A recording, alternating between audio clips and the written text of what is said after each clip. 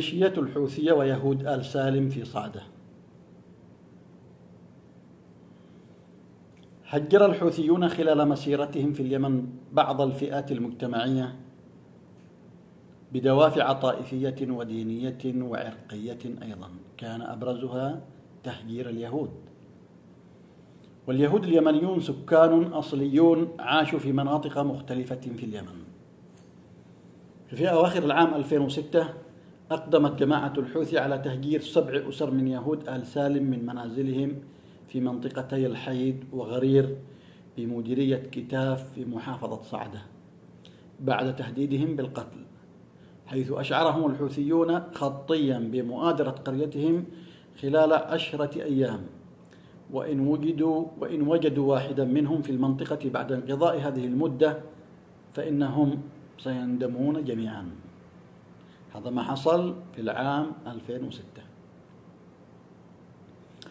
وقد لجأت هذه الأسر المكونة من 45 فردا أغلبهم من النساء والأطفال إلى مبنى المجمع الحكومي في صعدة.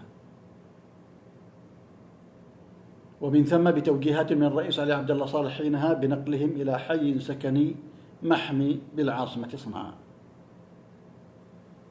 أجبر الحوثيون يهود اليمن على ترك منازلهم ومزارعهم التي توارثوها أبا عن جد دون ذنب اقترفوه سوى أنهم يهود وغير مسلمين حد تصريح الحوثيين آنذاك. قال لي الشيخ عبد العظيم العمري العمري وهو آه، عبد العظيم عفوا الحوثي وهو ابن عم عبد الملك الحوثي على هامش حوار صحفي سجلته معه ذات مرة. وفي سياق التفاخر أنه من تبنى تهجير يهود آل سالم وتشريدهم من صعدة. وليس عبد الملك الحوثي الذي يدعي ذلك. هذا الكلام له هو. والواقع أن كليهما قد فعل ذلك. وهو قال هذا الكلام على سبيل التفاخر والانتشاء وحماية الفضيلة والدين حد ادعائه. في ديسمبر 2008 قتل أحد المواطنين في ريدة بمحافظة عمران مواطنا يهوديا يدعى ماشا النهاري بتحريض حوثي في إطار عملية التحريض التي تقوم بها الجماعة. ومن ثم توالت هجرة اليهود بسرية عبر منظمات خاصة أو منظمات حقوقية إلى أمريكا وإسرائيل بعدما عجزت الدولة عن حمايتهم. وبعد سيطرة الحوثيين على صنعاء وتحديدا في مارس 2016 هجرت الميليشيات الحوثية 17 شخصا من يهود اليمن إلى إسرائيل. هاجر هؤلاء الجدد وبصحبتهم أنفس المخطوطات التاريخية اليمنية التي لم تحقق حتى الآن. ولم يعرف اليمنيون مضمونها. وظهر أحد اليهود اليمنيين وهو يستعرض مخطوطا كبيرا مع رئيس الوزراء الإسرائيلي بنيامين نتنياهو علما أنها ثاني عملية تهجير جماعي بعد عملية بساط الريح التي تمت آخر أربعينيات القرن الماضي وبداية الخمسينيات وإن كانت أقل. وقد ذكرت رئيس الوزراء إسرائيل الأسبق جولدا مائير في مذكراتها أن عدد اليهود اليمنيين الذين وصلوا إلى إسرائيل بنهاية العام 1949 48 ألف يهودي. نعم ذكرت هذا جولدا مائير في مذكراتها أو اعترافات اسمها هكذا اعترافات جولدا مائير التي ترجمها عزيز مي آه، صفحة 208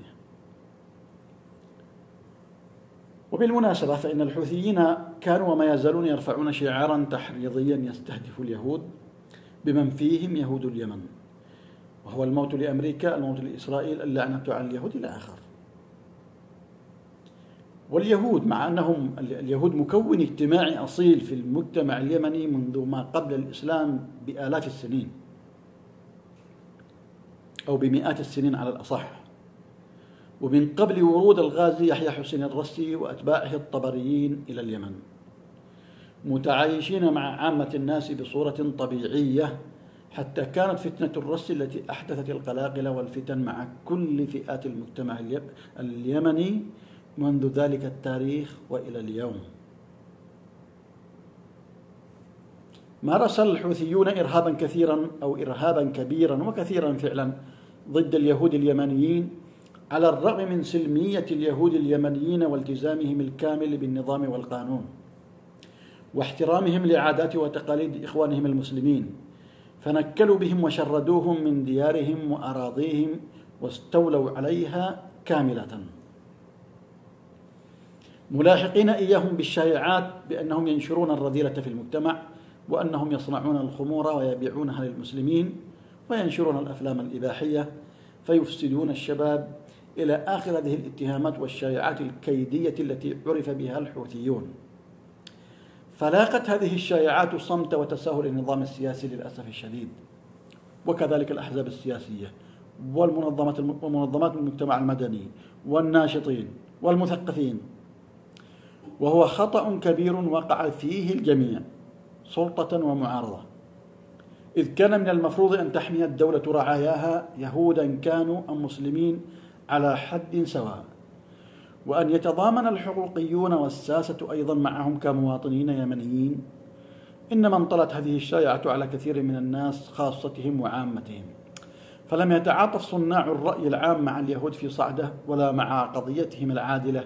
عدا القليل فقط من بعض المثقفين وبعض السياسيين. وهي نظرة قاصرة. ربما تجاه اليهود كمواطنين يمنيين بالمحصلة النهائية. وربما تأثروا بالشائعات اليهودية. فغادر هذا اليهود كما ذكرنا فغادر هؤلاء اليهود قراهم تحت وطأة الإكراه بالسلاح ودموعهم تتحدر من مآقيهم رجالا ونساء وأطفالا وشيوخا. غادر بعضهم إلى الخارج فيما استقر البعض الآخر منهم في صنعاء ينتظرون عودتهم إلى بيوتهم ومزارعهم لكن ذلك ما لم يحدث حتى اللحظة. غادر بعضهم إلى إسرائيل فيما لا يزال بعضهم وهم قلة قليلة داخل صنعاء لم يسمح لهم بالعودة إلى صعدة. وقد أشارت الدكتورة أروى الخطابي في مقال لها وحديث لها عن اليهود في اليمن بأن اليهود لهم مساهماتهم في بناء الدولة ولهم دور اقتصادي واضح منذ قديم الزمن. لكن إيران ومن خلال ذراعها في اليمن عمدت لتهجيرهم من أراضيهم ومواقعهم. إلى جانب نشاطهم الاقتصادي وهو نشاط متميز بالطبع نشاط تجاري معروف عن اليهود. آه، نشاطهم الفني كذلك. تميز اليهود بفنون مجتمعية راقية النقش والنحت وغيرها من الفنون التي عرفوا بها.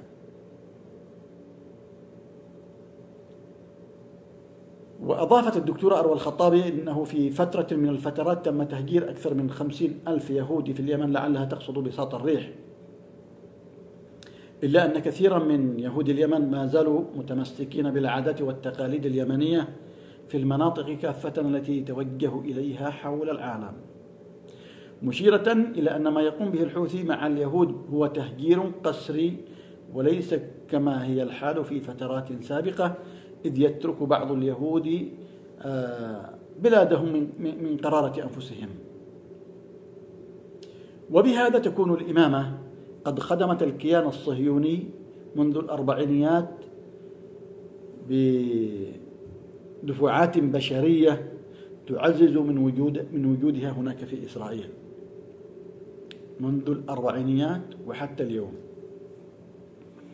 وباستقراء تاريخ اليهود في اليمن على الأقل منذ العصر الإسلامي فيما بعده لم نجدهم يوما ما يمثلون خطرا على الوطن أبدا ولا على هويته بل على العكس شكلوا أحد الروافد المهمة على الصعيد الاقتصادي والسياسي والثقافي ولعبوا دورا إيجابيا كبيرا في الحياة العامة. ولا أدل على ذلك من حفاظهم على هويتهم وعاداتهم وتقاليدهم حتى في داخل إسرائيل منذ هجرتهم إليها في آخر الأربعينيات وإلى اليوم. واشتهر اليهود بحسن الجوار مع جيرانهم وأصدقائهم المسلمين في مختلف مناطق اليمن في الريف وفي المدينة على حد سواء. لكن الجماعة الحوثية لا يروق لها إلا أن تبقى وحدها فقط ممسكة بكل شيء. هجرت اليهود كما هجرت بقية الطوائف الأخرى ولم تبق جماعة أو حزبا أو طائفة إلا وهجرتها ولا تزال حتى هذه اللحظة تتبع هذه السياسة للأسف الشديد.